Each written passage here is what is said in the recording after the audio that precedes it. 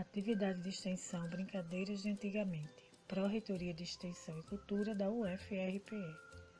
A brincadeira que eu vou apresentar é o jogo da memória, que você pode fazer em casa utilizando figuras e cartões como estes, feitos de cartolina, papelão ou outro papel mais duro. Então você vai precisar dos cartões, figuras, lápis de cor para pintar as figuras que não são coloridas, tesoura e cola.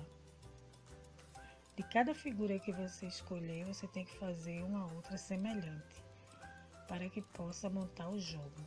Você cola a figura no cartão, pinta se quiser e vai montando o seu jogo.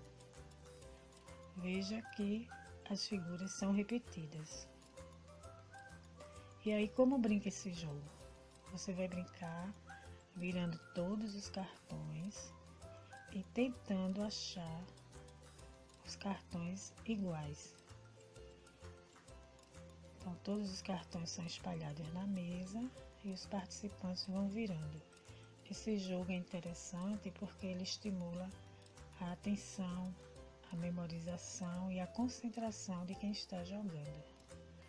Depois de espalhar todos os cartões, você começa a procurar aqueles que são iguais. Então vamos fazer aqui uma demonstração. Vamos ver assim. Digamos que escolhemos este daqui. Este tem o milho, você tem que achar o igual a este. Aí vira outro cartão. Não fez ponto porque os cartões são diferentes.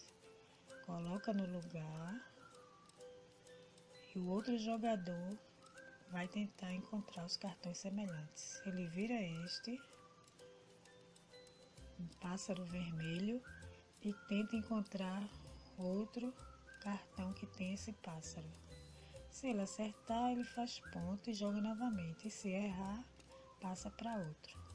Olha aqui, os dois cartões iguais.